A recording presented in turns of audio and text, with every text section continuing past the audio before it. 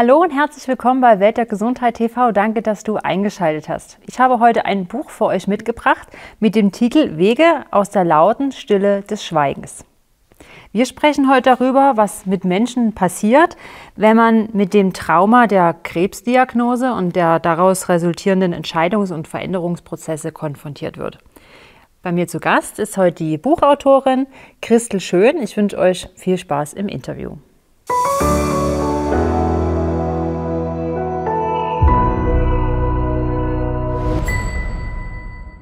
Hallo Christel, schön, dass du hier bist in Dresden. Ich begrüße dich recht herzlich bei Welt der Gesundheit. Du hast uns ein Buch mitgebracht und wir sprechen heute darüber, was mit Menschen passiert, wenn man mit dem Trauma der Krebsdiagnose und den daraus resultierenden Entscheidungen und auch Veränderungsprozessen konfrontiert wird. Du hast ein Buch geschrieben mit dem Titel Krebs, Wege aus der lauten Stille des Schweigens. Das zweite von insgesamt drei Büchern. Mhm. Vielleicht erstmal vorneweg, ähm, wie kam es dazu und was hat das Buch mit deiner persönlichen Geschichte zu tun? Ja, dies, also erstmal freue ich mich, dass ich hier heute da sein kann und über dieses wichtige Thema rund um Krebs sprechen kann. Wie kam ich zu diesem zweiten Buch? Also das ist das zweite Buch aus der Serie.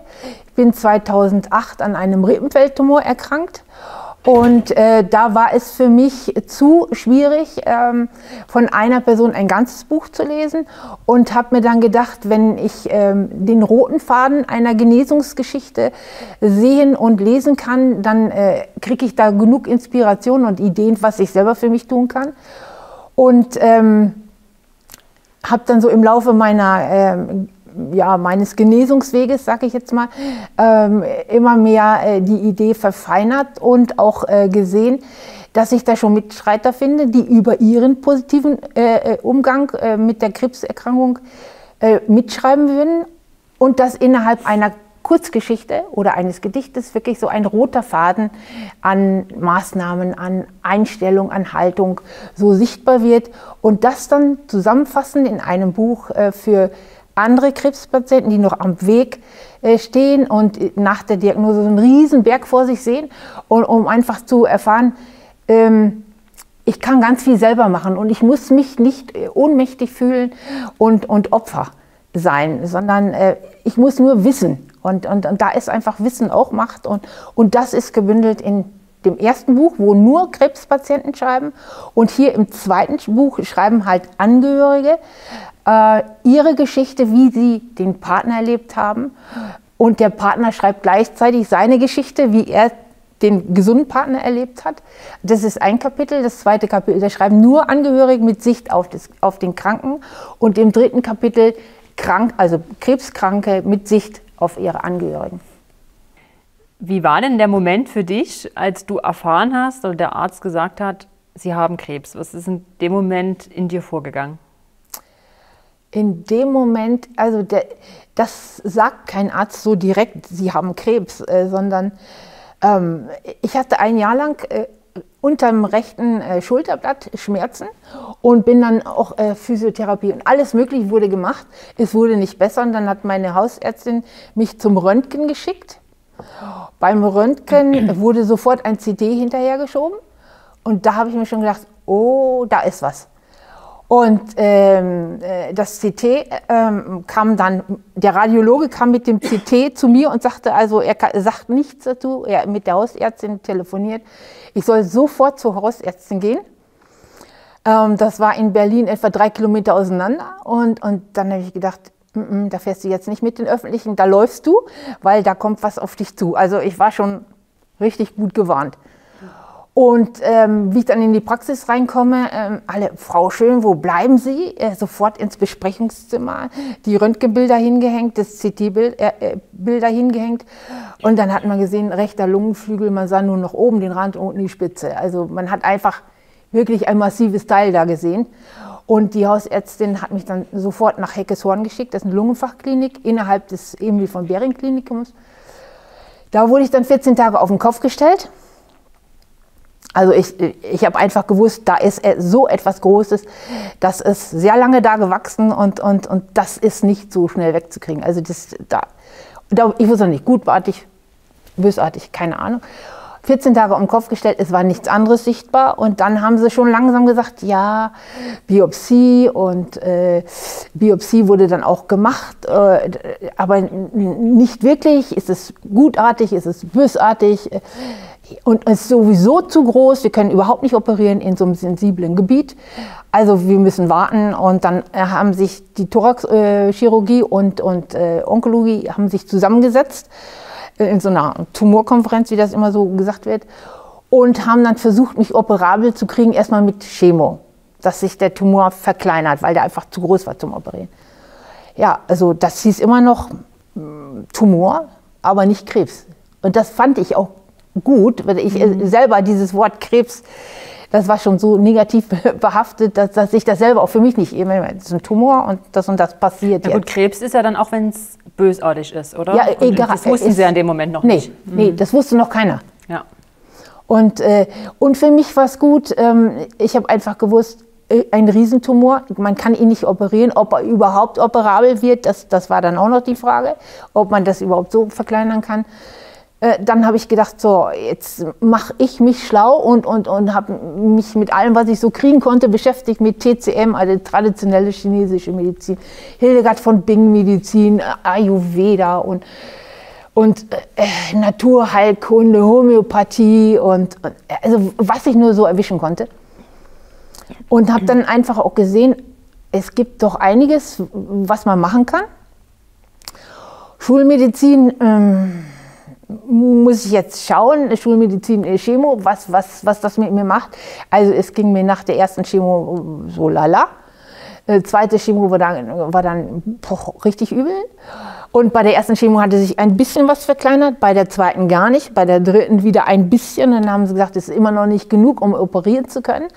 Dann die vierte Chemo wurde mit Strahlentherapie gleichzeitig und da ist dann was passiert. Also dann wurde es so klein oder so viel kleiner, dass, dass dann die Chirurgen gesagt haben, sie operieren jetzt. Und das war aber nach einem halben Jahr. Also, und eine Chemo, ein Chemoblock war immer drei Tage Krankenhaus bis zum 21. Tag zu Hause, drei Tage Krankenhaus, 21. Tag zu Hause. Und dann äh, Mitte Juni, äh, das Ganze war im Februar, fing das an. Mitte Juni haben sie dann gesagt, ähm, ja, nochmal Restaging nennt sich das dann, nochmal alles Röntgen, alles äh, MRT, alles CT, um, um zu gucken, wo nochmal wieder was entstanden sein könnte. War aber nicht. Und dann haben sie gesagt, sie operieren. Und, und der Chefarzt hat dann auch ein Team zusammengestellt, was dann auch in der Lage war, diese schwierige Operation zu vollziehen. Und, und sie waren dann hinterher alle glücklich, dass, dass sie es wirklich operieren konnten. Ja. Mhm. Aber das war dann schon so eine heftige OP. Äh, da war ich dann wirklich, ich habe zwei Jahre gebraucht, um von den Schmerzmitteln runterzukommen, weil einfach das Rippenfell rechts komplett weggenommen worden ist. Und ähm, ja, also an Arbeit und so war überhaupt nicht mehr zu denken. Das, das, das war, ging nicht. Hm. Ich war viel zu viel zu tagesformabhängig und, und äh, also Schmerzen, uff, ja, Mhm. Aber äh, ich habe für mich immer gedacht, okay, du hast doch die Idee mit dem Buch und äh, das schaust du jetzt einfach mal so, wie es dir geht. Genau, du hast ja dann einen dritten Teil geschrieben, wo es eben um, ich sag mal, ganzheitliche alternative Heilmethoden gibt, abseits der Chemotherapie. Nun sprechen wir aber heute in unserem heutigen Interview eigentlich gar nicht über dich oder über die Krebspatienten, sondern tatsächlich äh, mehr über die Verwandten, Familie, Ehepartner. Mhm. Wir werden in einem weiteren Interview dann noch auf die hämopathischen äh, Behandlungen eingehen. Aber wie ging es denn erstmal für dich weiter? Also du, wie bist du damit umgegangen und welche Rolle hat eben gerade deine Familie beziehungsweise eben auch dein Ehepartner in dem Moment, kurz nachdem du das erfahren hast, was hat der für eine Rolle für dich gespielt? Oder wie erging es ihm auch dabei? Ähm, also ich, ich, ich glaube, ähm, er war erstmal verhalten, er konnte es überhaupt nicht fassen, dass, dass sowas so, so, so plötzlich einfach da ist. Und, und äh, wir haben als, als Paar in, Ingolstadt, in Berlin gewohnt und die Kinder waren drei Jahre vorher in Ingolstadt geblieben mit ihren, ihren Familien. Und, und das war einfach ähm, so aus dem Nichts, so, so eine, eine wie soll ich sagen, so, ja, das Leben ist abrupt anders. also aus dem Arbeitsleben raus, aus, aus, äh, und, und dann einfach auch die, die Angst, ja, was, was macht das mit ihr, was macht das mit mir, äh, die, die Angst, wie, wie geht das überhaupt weiter, wie, wie, wie, strapaziös werden die Methoden, die Maßnahmen, die jetzt kommen? Und äh, also das, das war schon, es war schon ein Riesenberg, ja. Mhm. Und, und äh, was, was ich, also die Kinder, die waren, äh, meine Tochter war völlig äh, aus dem Häuschen. Also die, die konnte sich da äh, ganz schwer fangen und mein Sohn hat gleich gesagt, Mama, du schaffst das. Also der, der war, der, der ist so mehr so mein Naturell. Und, und ich habe hab auch immer so gedacht für mich, wenn alles so sagte, Gratwanderung, 50-50, ja, was, was wollt ihr? Irgendwie wird das schon. Irgendwie, ja. wenn ich auch nicht weiß wie, aber irgendwie wird das schon. Aber wenn, er, wenn ich mir jetzt vorstelle, wenn der Partner Krebs bekommt, wie wirkt sich denn so eine Krebsdiagnose auf die Partnerschaft aus? Also das, das, das würde ich mittlerweile sagen, ist personenabhängig. Also, und auch, wie stark die Beziehung vorher ist. Ist die wirklich echt stark oder ist sie nur pseudostark? Mhm, also, ja auf eine große Probe gestellt. Ne? Absolut, absolut. Das ist, das ist die Probe schlechthin. Ja. Ja, kann man nicht anders sagen. Und, und das, das Verrückte war ja, wir waren erst äh, vier Jahre in Berlin. Wir sind eigentlich wegen meiner Arbeit nach Berlin gezogen. Mein Mann ist ja mit und hat da auch kleine Arbeit gefunden. Das war, also es war ja, lief ja eigentlich alles so, so weit ganz gut. Und, und äh, Familie, also, aber wir haben nicht wirklich in Berlin Fuß fassen können, weil die Kinder mit ihren Familien in Ingolstadt geblieben sind. Also wir sind ständig hin und her gependelt. Da kamen die ersten Enkel, die wollte man dann auch äh, miterleben. Und, das war alles auch noch so zusätzlich Stress. Mhm. Und, äh, und, und, und, so eine Diagnose kriegen ist absoluter Stress. Ja. Also das, das, da war ich schon wieder ein bisschen ruhig, aber mein Mann war da, der, der war auch am Boden zerstört, kann man nicht anders mhm. sagen. Und, die brauchen ja dann auch irgendwo psychologische Hilfe, ne? Ah ja, und das, das wird ja äh, noch heute nicht richtig beachtet. Ja, eben. Hm. Deswegen heute ja. das Interview. Ja. Ähm, um das, da tatsächlich auch mal über die, die Gefühle des Partners zu reden. Ich meine, das es ist auch kein leichter Part, ne? das darf man nicht vergessen. Also Nein. Dann oh. arbeiten zu gehen und zu wissen, deine Frau oder dein Mann ist zu Hause und ja. äh, dem geht es dreckig. Und, ja, ne? ja. Und, und da muss ich auch sagen, da, da hatte ich eine Hausärztin in Berlin, die hat ihn sofort krank geschrieben. Die hat ah, gesehen, ja. Mhm. wie, wie fertig er ist und hat gesagt, Sie gehen nicht mehr arbeiten. Sie kümmern sich um Ihre Frau. Sie, ich schreibe Sie jetzt krank. Also die hat das super erfasst. Mhm. Ja, und auch der Chef, also das kommt ja dann auch auf den Arbeitgeber drauf an, der hat gesagt, nimm dir die Zeit, die du brauchst, also der Arbeitsplatz wackelt jetzt nicht oder irgendwie sowas, sondern das steht jetzt an erster Stelle. Also das ist nicht nur äh, der Partner, sondern auch alles, was da noch dranhängt. Hm.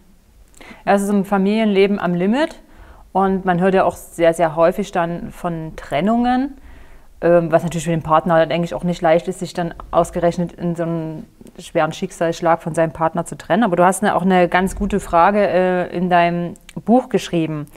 Wie kann es gelingen, eine Atmosphäre der Offenheit zu schaffen, die es allen Beteiligten erleichtert, mit diesem komplexen Gefühlsfeld, Gefühlswelt fertig zu werden, welche die Krankheit auslöst? Wie also, das? das? Das, also Patentrezepte gibt es da nicht und das ist auch wieder personenabhängig.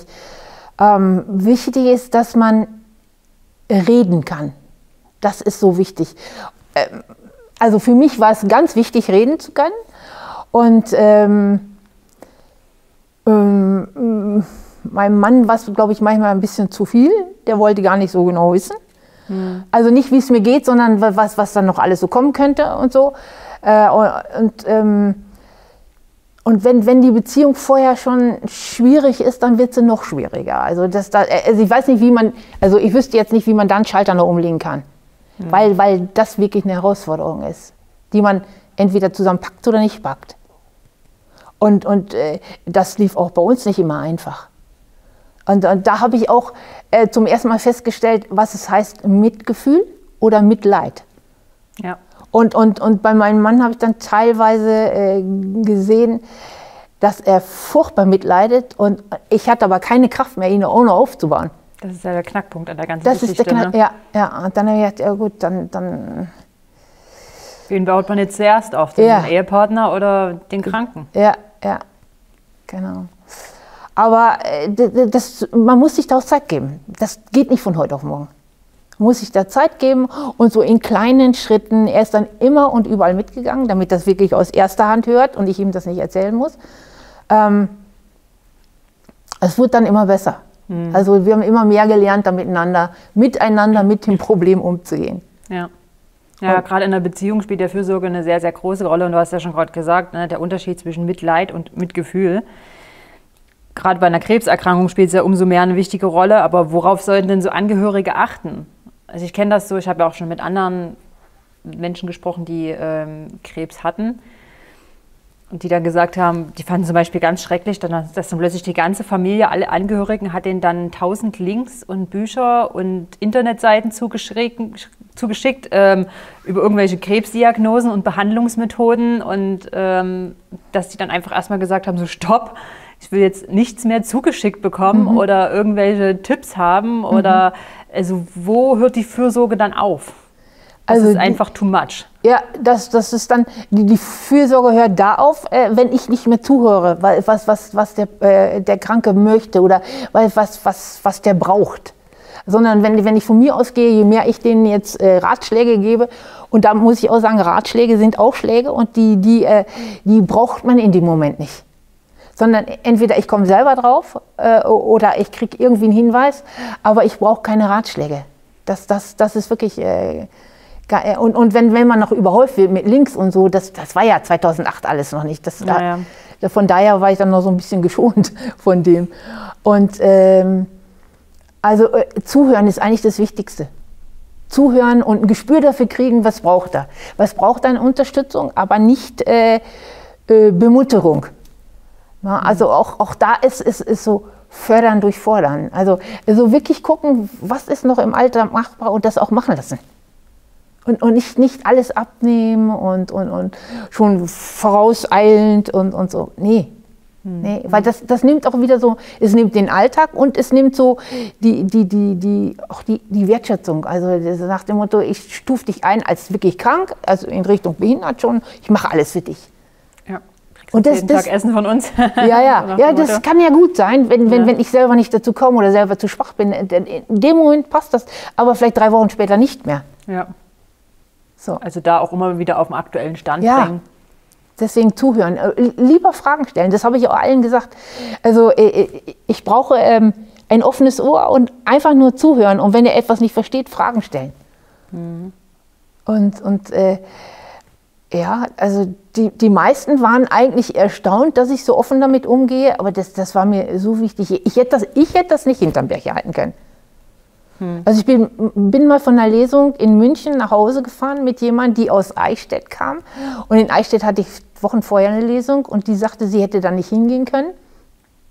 Hätte sie sich outen müssen, dass sie Brustkrebs hat und nicht mal ihre Schwiegermutter im Haus weiß es.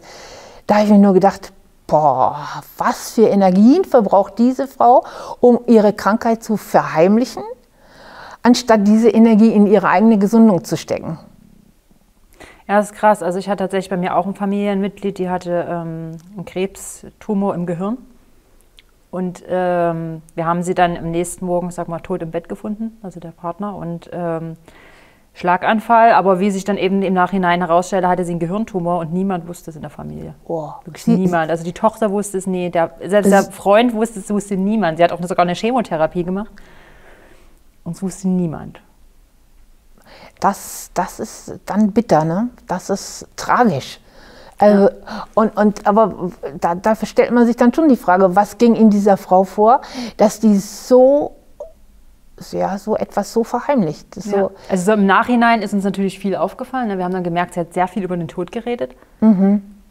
Ähm, aber es fällt ihnen natürlich dann erst also so ja, später ein. In dem ja. Moment ist man ja nicht skeptisch. Ich meine, wenn jetzt jemand sich gerade so für Jenseits, Tod, Leben danach interessiert, ja gut, dann geht man jetzt nie davon aus, derjenige ist sterbenskrank. Ja. Ja. Oder sie hat dann auch immer viel gefragt, so sehe ich anders aus, habe ich mich verändert? Mhm. Da dachte man, nee, warum? Also, mhm. ne, so, man, man schnallt es mhm. halt in dem Moment einfach ja, nicht. So, Im Nachhinein war es uns natürlich dann klar, ne, warum sie immer gefragt hat, ob sie sich im Gesicht auch verändert hat. Ja. Mhm. Ja, es ist krass. Es geht halt wirklich, also es ist wirklich, wie du schon sagst, eine ganz individuelle Geschichte. Ja. Und, und äh, wenn derjenige sich den Weg so ausgesucht hat, dann ist das auch okay. Nur äh, der bedenkt auch nicht, wie die Angehörigen dann später damit umgehen. Ne? Weil, weil das heißt ja auch für die Angehörigen, sie hat es uns nicht zugetraut, mit ihr zusammen das durchzustehen. Das, das finde ich ist nämlich auch wichtig. Wenn, wenn ich dem Angehörigen etwas zutraue, dann signalisiere ich ihm, ich traue dir auch das Gemeinsame zu. Und wenn ich das für mich behalte, dann traue ich das keinem zu. Ja. Und das ist schade, das ist, das ist richtig schade, ja. Mhm. Also weil, weil das auch eine, eine, wertvolle Zeit ist. Ja, also ich denke halt einfach Wichtig. auch, dass Krebs auch eine psychische Geschichte ist. Ja. Und das muss man dann einfach loslassen, daran muss man arbeiten. Und ich glaube, da, also man kann schwer in einem Umfeld wieder gesund werden, wo man krank geworden ist. Genau. Sondern es ist ja, wie du auch schon sagst, es ist ja nicht nur ein eigener Prozess, sondern ein Prozess der gesamten Familie. Ja. Na, dass nicht nur ich an mir in dem Moment arbeiten muss, sondern eben vielleicht auch mein Partner oder meine Kinder ja. oder die zumindest auch ihren Teil dazu beitragen müssen, ja. dass das irgendwie funktioniert. Und ich glaube, der, alleine deshalb funktioniert es schon nicht, gesund zu werden mit dem Wissen, also dass das halt niemand weiß in der Familie. Ja, genau. Also das äh, sind ja, äh, können ja Förderer werden, die, die, die meine Gesundheit mit unterstützen. Und vor allen Dingen kann ich ja ganz anders hinter Maßnahmen stehen, wenn die von Anfang an mit eingeweiht sind und, und wie, wie, wie komme ich dann zur Chemotherapie, wenn ich gar nicht mehr fahren kann? Hm. Wie mache ich das? Also, äh, was für eine Energie vergeude ich da, mir ein Taxi zu besorgen oder Nachbarn oder was weiß ich was zu organisieren und auch denen nicht zu sagen, warum ich da hin muss. Was weiß ich, noch einen Kilometer zu laufen, damit man ja nicht entdeckt, wo ich hin muss. Ja, ja. Das ist unglaublich, was, da, was eine, ein Rattenschwanz dann da noch dran hängt. Ne? Und das ist offen und ehrlich damit umgehen, ist äh, also äh, ganz wichtig, ja. Hm. Und äh, wenn ich so überlege, was, was hat das so mit mir gemacht? Ähm, äh, es, es, es, war einfach auch nach dem Ganzen, also wir sind dann 2009 wieder nach Ingolstadt zurückgezogen, weil ich einfach gewusst habe, ich komme da nicht mehr ins Arbeiten in Berlin. Ich hatte auch vorher gekündigt, das war, war da wusste ich noch gar nicht, dass ich gegangen bin. Da hatte, so, ich, hm. da hatte ich gekündigt, weil äh, du hast ja vorhin gesagt, Stress, ne? Stress ist so, so eine und, und das kann ich auch nur bestätigen. Also ich hatte Stress in der Arbeit, also von Ingolstadt nach, nach äh, Berlin in, in, in den Frauenverband, eine Geschäftsführung. Also ich habe da 60, 70 Wochenstunden gearbeitet. Äh, Hochstress, mit unter Hochstress. Ähm, dann einfach auch ähm, die Tatsache, mein Mann hat sich in Berlin dann doch nicht so wohl gefühlt, äh, mhm. aber dann da bleiben wegen meiner Arbeit. Und, und die Kinder mit ihren kleinen Kindern äh, wollten natürlich dann auch Oma und Opa sehen, also in Berlin nicht richtig wurzeln können, immer wieder hin und her zwitschen. Das macht auch was mit einem. Und äh, ich habe das schon gemerkt, also ich, ich war echt nicht nur körperlich, sondern äh, seelisch am Limit. Und äh, wie, wie da rauskommen, wie aus dem Ganzen rauskommen. Und ähm, kurz vorher habe ich dann gesagt, so, und jetzt ist Schluss. Mitte Februar zum Ende März kündige ich. Und eine Freundin hat dann noch angerufen und hat gesagt, du, das ist Mobbing, was, was mit dir gemacht wird, mach es nicht, geh in die Krankheit. Nein, in die Krankheit auf keinen Fall. Es ist ein Cut und, und, äh, und ganz neu starten. Und wo ich dann die Kündigung abgegeben habe, 14, äh, ich habe mich gleichzeitig krank schreiben lassen, 14 Tage später, wie gesagt, ähm, ich, ich gehe nicht mehr zurück in die Arbeit, das ist auf keinen Fall. Äh, bin dann nochmal zur Hausärztin und habe gesagt, also 14 Tage zu Hause, mir geht's schlechter denn je, mir, mir zittern die Knie vor lauter Schwäche und ich mache äh, äh, gar nichts mehr und, und ich weiß gar nicht, was mit mir los ist. Und dann hat die gesagt, ja, was waren die letzten Infekte? Ja, Anfang November hatte ich einen Magen- und Darm-Katar, also äh, praktisch von den Enkeln aufgeschnappt und hatte bis Januar 13 Kilo abgenommen. Also das war schon irgendwie verdächtig. Mhm. Dann hatte ich zwischen Weihnachten und Neujahr eine massive Bronchitis, die, die also wirklich... Äh, und dann hat sie gesagt, Röntgen, Lunge und, und äh, Stuhlproben abgeben und dann... Und sofort gehst du morgen zum Röntgen. Ja, und dann ist das ja alles aufgetaucht. Und ähm, also ich wäre gar nicht anders rausgekommen aus diesem Stress. Also der, also der Krebs ist nicht nur negativ. Ja, aber da hat ja, wollte ich gerade sagen, da hat ja das Leben dir schon den Weg gezeigt. Ja. Und ähm, ich sag mal, Stress ist ja die eine Geschichte. Das ist vielleicht noch nicht mal so das Übel, also das, ne, aber auf was du durch den Stress verzichtest. Ja.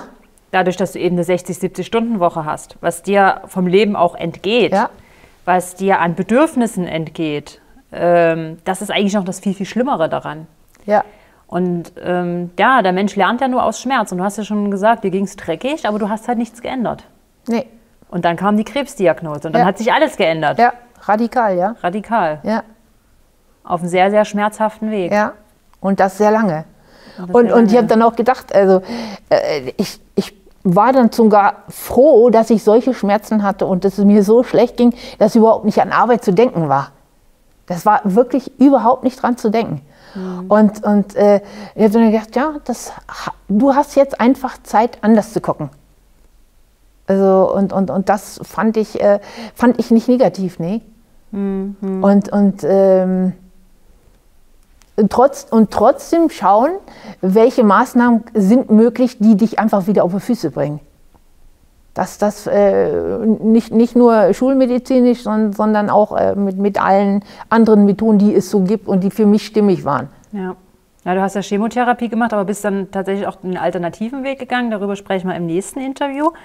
Ähm, das hat man ja schon gesagt, das Fürsorge kann ja nun sehr schnell unangenehm werden. Ähm, es gibt aber auch Menschen, die sich ihrem Partner, der Krebs hat, ja dann völlig aufopfern. Inwieweit schaden sich Angehörige damit selber? Ähm, ich glaube, dass derjenige, der sich aufopfert, das erstmal gar nicht merkt, dass er sich aufopfert, sondern u- unbewusst kann ja auch ähm, so eine Art Ki- Kit äh, dadurch erfolgen. Also dass, dass, dass derjenige äh, glaubt, damit kriege ich vielleicht äh, ein altes Gefühl wieder hin oder eine alte Beziehung wieder hin. Also, und, und dann merkt man das gar nicht, kann ich mir vorstellen. Und, äh, und wenn es aber dann anfängt, an die eigene Substanz zu gehen, dass, dass, dass, dass man selber äh, nicht mehr schlafen kann oder, oder äh, äh, auch gestresst und genervt ist. Es, kann, äh, äh, es kommt ja dann auch auf den Kranken drauf an, wie er das ausnutzt. Ob er Ja, das, ja. Na, wie, wie, wie er diese Hingabe in Anführungszeichen ausnutzt, oder auskostet und sagt, so, jetzt kriege ich endlich mal die Zuwendung, die ich brauche. Aber das ist ja nicht offen und ehrlich. Das, das ist vorher nicht offen und ehrlich gelaufen und läuft dann auch nicht offen und ehrlich. Und das, das kann nicht gut enden. Aber sich dessen bewusst werden, das, das ist das Schwierige. Und mir war, mir war auch so wichtig, als wir dann wieder in Ingolstadt waren, mir psychoonkologische Hilfe zu holen. Also wirklich Hilfe zu holen, weil ich einfach gesehen habe, ich komme da alleine nicht raus. Und, und äh, da habe ich dann einen, einen Arzt gefunden, auch relativ schnell. Also das war wirklich äh, super. Das war ein Allgemeinmediziner, Chirurg äh, und hatte Psychotherapie äh, draufgesetzt und noch Buddhist. Also da hatte ich so, viel, so, so viele Varianten, die mich so schnell weitergebracht haben. Das war unglaublich. Das ist ja dann wirklich ein Glücksfall. Ja, ja, ja. Das, das Glück haben wirklich, glaube ich, nicht viele. Ne? Aber der, der hat das, das war, der hat immer so Beispiele gebracht, die, die habe ich dann auch mit nach Hause gebracht, habe die meinem Mann erzählt. Also das, das war, war richtig gut, ja. Welche Anstrengung und Flexibilität erfordert denn das füreinander äh, bei der Gratwanderung zwischen Überbehütung und Überforderung des Krebspatienten? Also Flexibilität in dem Sinn, dass man immer beobachtet und nicht gleich einschreitet. Beobachtet, was braucht der andere. Also von beiden Seiten beobachtet.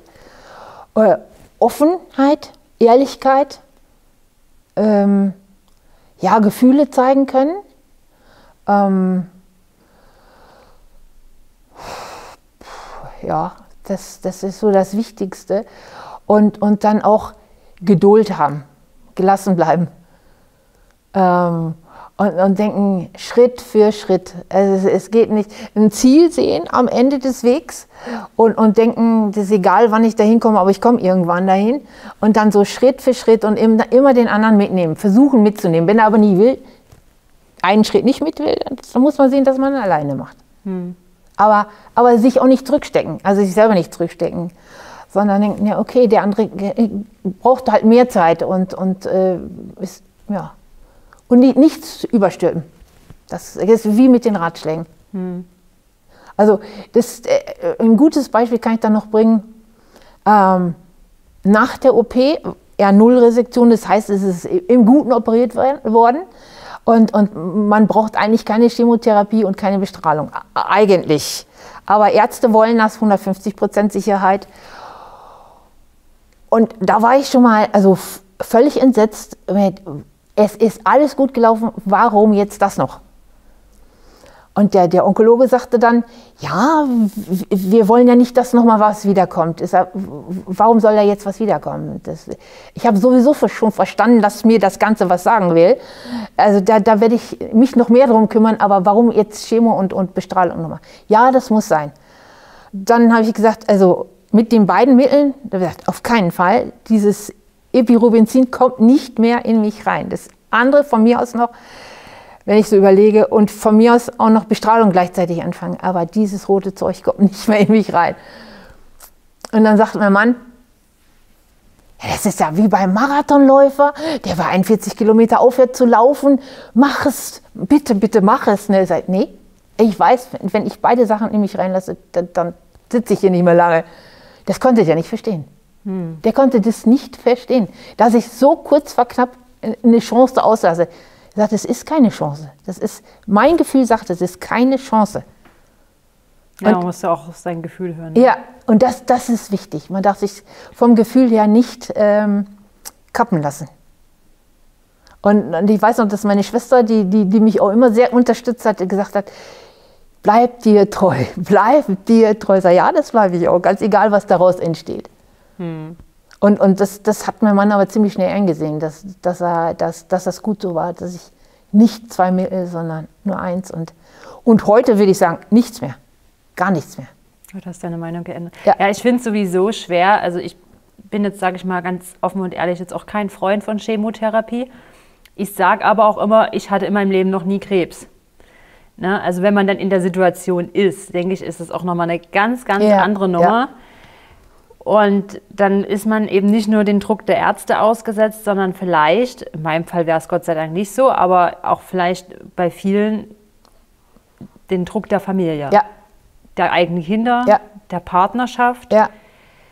Der ist und den, enorm. Ja, und dann überhaupt erstmal mit der Diagnose klarzukommen. Und dann noch diesem enormen Druck standzuhalten, sich eben anders zu entscheiden. Da kann ich schon verstehen, warum Menschen dann auch irgendwie einknicken und sagen, okay, ich mache jetzt eine Chemo. Mhm. Ähm, ja, da spielt das Umfeld schon eine große Rolle. Ja, ja.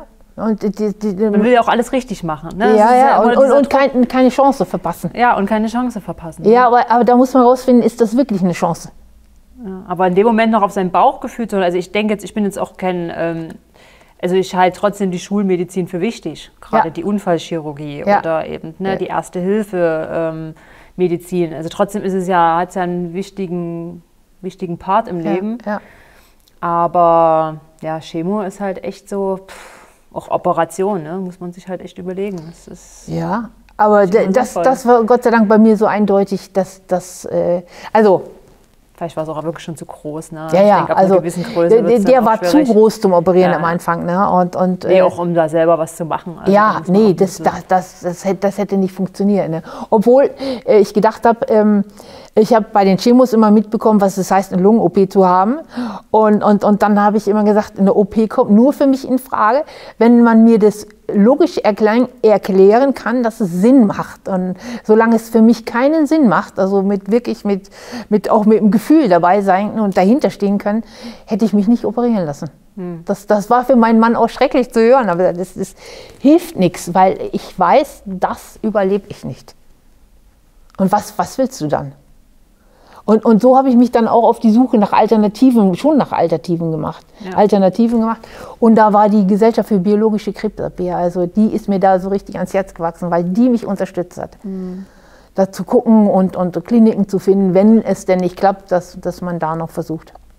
Ja, und wenn, dann muss ich auch sagen, ist die Schulmedizin ja erstmal wichtig, um überhaupt eine Diagnose zu haben. Ja. Na, weil dann kann ich auch überhaupt erst ganzheitlich oder alternativ irgendwas machen. Genau. Ohne Diagnose ist es halt immer schwer, genau. da irgendwas zu bewegen. Ja, das ist wichtig, ja. Ähm, wie können wir denn dabei Grenzen erkennen und das Ganze ähm, tolerieren für den, für den Partner? Ja, das, das, Oder auch für die Kinder, für die ist ja bestimmt auch. Ja, da, also, äh, also der Erkrankte äh, soll, sollte immer wieder in sich reinhören und, und, und, und schauen, was macht das mit mir. Also wenn, wenn mich die Familienmitglieder unter Druck setzen, dann, dann kriege ich ja irgendwie so ein, so ein Gefühl, entweder ich gebe danach und, und fühle mich nicht wertgeschätzt oder, oder ich gehe in die Opposition und äh, habe dann auch so das Gefühl, ich bin jetzt das schwarze Schaf in der Familie. Also das ist beides nicht gut. Ne? Mhm. Also ja. Äh, ja, da, da, versuchen zu einem Ausgleich zu kommen. O, oder dann wirklich ganz raus. Also das, das ist dann, wäre dann für mich die äh, Konsequenz gewesen, wenn, wenn ich kein, keine äh, Zustimmung bekommen hätte. Ja. Dann hätte ich gesagt, dann, dann, halte ich das hier nicht aus, dann bin ich weg. So, also so radikal wäre ich jetzt. Ne? Also ja, aber das, das bringt nichts. Und ich denke, also was, was ich, ich habe ja jetzt wirklich mit, dem, mit dem Buchprojekt äh, fast 200 Mitautoren und ähm, habe von denen so, auch so die, so die, Geschichte mitbekommen und denen ging es fast ähnlich. Und, und alle waren für sich sicher, dass sie den Weg, den sie so in ihrer Vorstellung hatten, dass sie den gehen und, und sich dann nicht von abbringen lassen, sei es weder durch Familie noch durch Freunde, sondern wirklich zu gucken, aber Schulmedizin und, und Komplementärmedizin zusammen zu schauen, was kann das für mich bewegen. Ja. Und wenn man da einknickt, ist man weg. Dann, dann, dann, dann, dann ist man, äh, ja, dann, dann macht die Krankheit mit einem, was, was sie will. Also das ist entweder ich bleibe da stark. Ja, man muss, denke ich, auch beide Seiten tolerieren. Also ich sehe es auch oft, dass gerade die, die jetzt ganzheitlich oder alternativ denken, dass dann oft schwerfällt, Familieangehörigen zu akzeptieren, die sich eben für eine Chemotherapie auch entscheiden. Jetzt ist ja auch gerade dieses Thema Impfung, ist genau mhm. sowas. Ne? Mhm. Wir haben mhm. alle Leute in der Familie, die sich impfen lassen. Mhm. Ähm, ja, aber sich dadurch spalten lassen ist halt auch nicht der richtige nee. Weg. Ne? Also den Ganzen aus dem Weg zu gehen. Man kann, natürlich kann man sein Statement dazu abgeben und sagen, du, pass auf, ich finde es scheiße, weil deshalb, deshalb, deshalb. Und dann muss man es, glaube ich, auch einfach ruhen lassen. Ja, ne? stehen lassen. Einfach, dass man seinen Standpunkt klar macht, genau. bis zu einem gewissen Grad, aber die Entscheidung liegt halt bei jedem selbst. Und genau. auch das ist, muss man akzeptieren, auch für die, die jetzt, sage ich mal, sehr ganzheitlich oder alternativ leben. Ja. Ja, mit allen Konsequenzen, ne? Ja. Das, das, das ist es, ja. Ja, das sehe ich genauso, ja. Und die, die Konsequenzen, die kann man sich nicht immer so vorstellen, aber die können dann schon auch bitter sein. Ja, na klar. Hm. Also das, das ist Wie war es denn beim zweiten Mal? War es da einfacher? Nee. Also das, das, also man das denkt ja, da warst du schon so. Ja, ne, ja, schon, ist, ja, ja, Jetzt kommt das, das und das. Das, das habe ich auch gedacht, ja. Also ich hatte die drei Bücher dann Ende 2019 fertig und dann habe ich gedacht, okay, das läuft jetzt alles. Jetzt kannst du von dem Thema Krebs so ein bisschen Abstand nehmen und ich habe noch so ein paar andere Projekte und mit denen mal starten und so.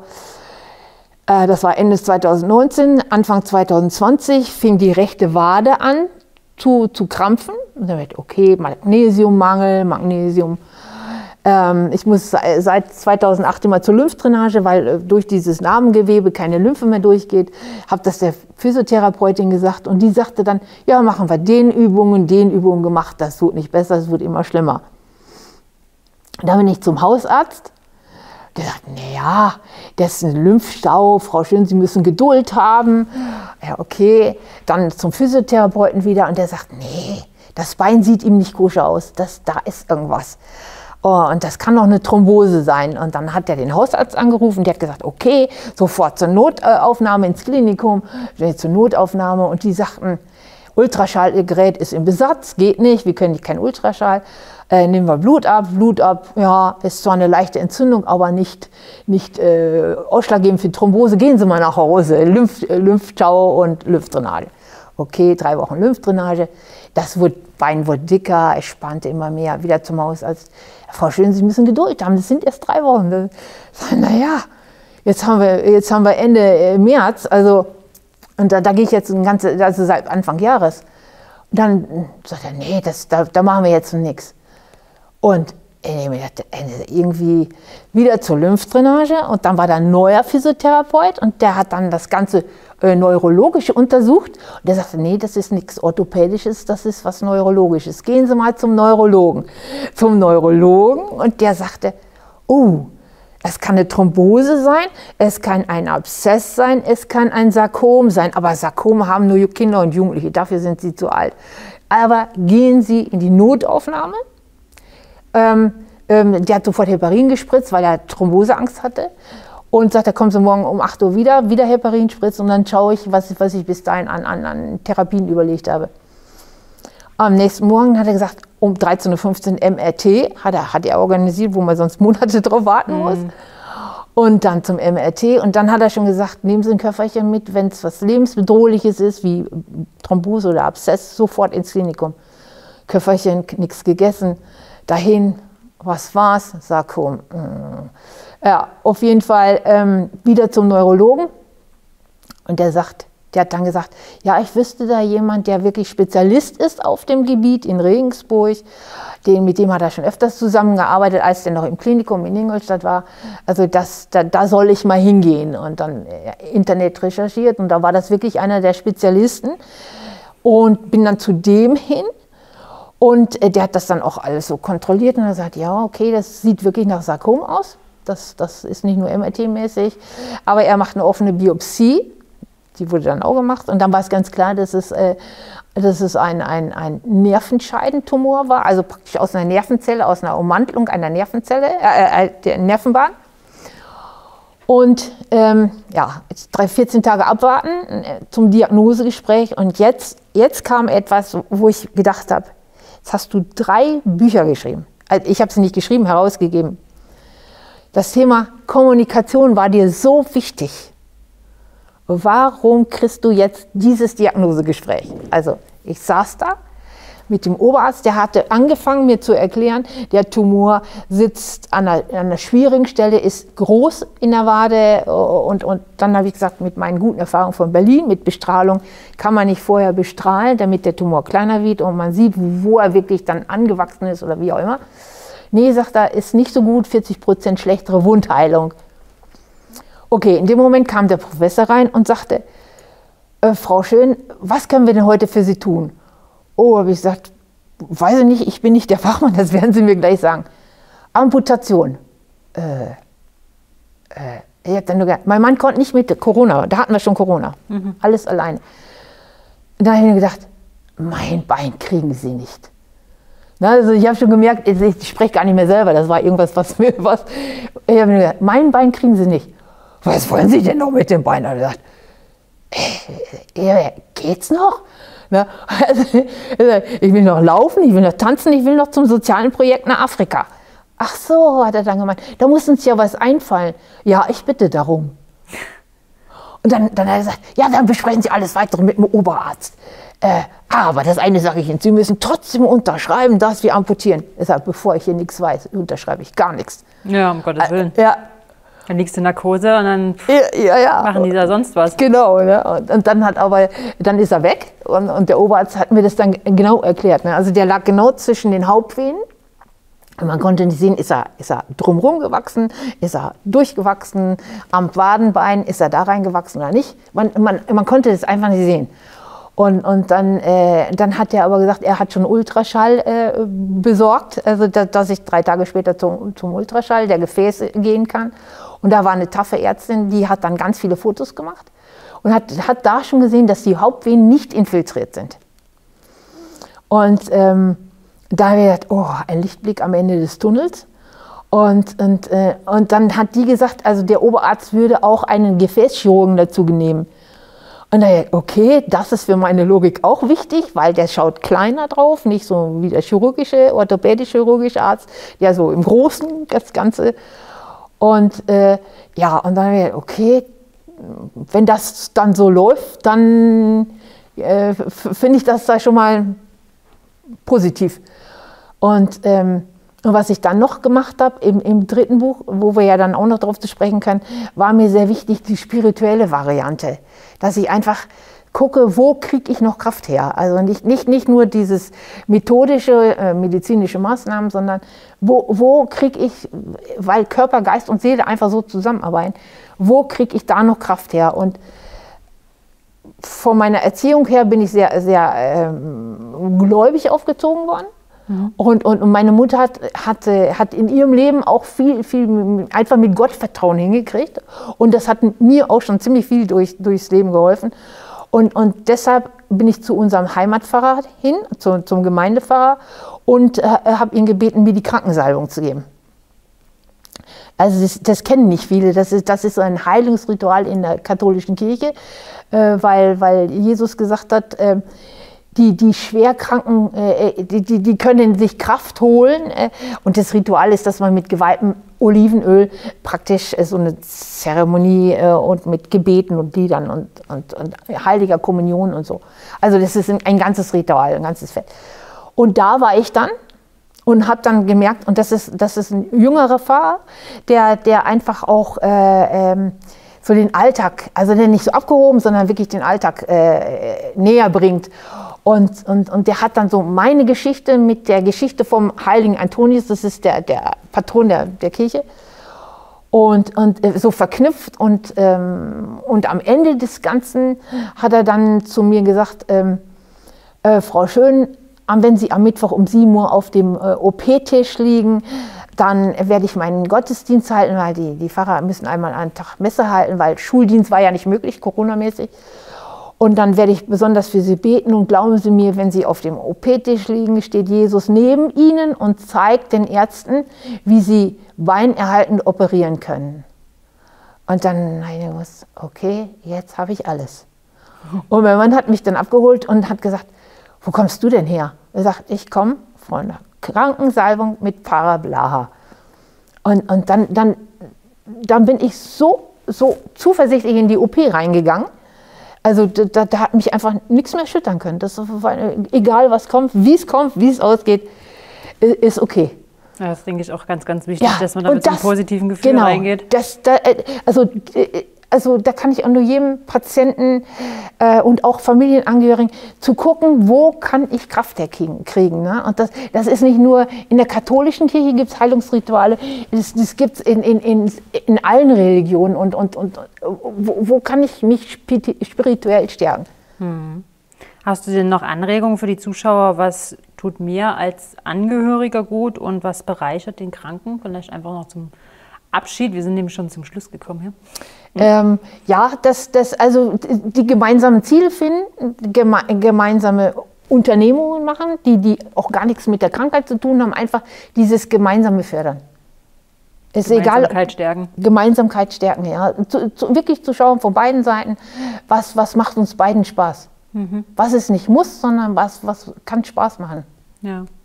Das, das ist wichtig. Gemeinsam Zeit verbringen, ja. Und dann, dann wird man selber bereichert. Also beide Seiten bereichern sich gegenseitig, ja. Mhm. Das ist, und wenn man da durchgekommen ist, kommt man durch vieles andere durch. Ja. Dankeschön. Lieben Dank, Christel, für deine Gerne. Erfahrung. Und ähm, ja, wie schon gesagt, wir werden noch ein zweites Interview führen. Da geht es dann um die ganzheitliche Medizin. Und ja, Dankeschön und dir alles Gute. Danke. Prima. Ich hoffe, dir hat das Interview gefallen. Ich danke dir sehr fürs Zusehen. Möchtest du noch mehr erfahren über Gesundheit? Schau dir sehr gern unsere Seite an www.weltdergesundheit.tv. Dort findest du jetzt ganz neu auch Artikel und Beiträge über Gesundheit und Wellness, um Wohlbefinden, ein erfülltes Leben, seelische Gesundheit, Naturheilkunde, Fortschritt in der Medizin oder alternative Heilmethoden und natürlich noch vieles mehr. Abonniere unseren Newsletter, in dem du einmal im Monat tolle Beiträge und Informationen enthältst. Gesundheit und ein erfülltes Leben sind kein Zufall. Du kannst so viel Gutes tun. Unser Team hilft dir dabei mit erprobten Rezepten, anregenden Interviews, einer Fülle von Themen zu Gesundheit, Lifestyle, Astrologie, Spiritualität, Kräuterheilkunde und noch vieles mehr. Stöbere doch gleich mal in unseren aktuellen Themen und packe, was immer dir bei deiner Lebensreise hilft, gleich mit in deinen Koffer. Hat dir das Interview gefallen? Hinterlasse mir sehr gern einen Daumen nach oben. Sei so lieb, abonniere auch meinen Kanal. Über deine Unterstützung würde ich mich sehr freuen. Ich danke dir fürs Zusehen, wünsche dir ganz viel Erfolg in deiner Gesundheit. Bis zum nächsten Interview, immer donnerstags Immer pünktlich hier um 16 Uhr auf YouTube. Bis zum nächsten Mal, deine Jana.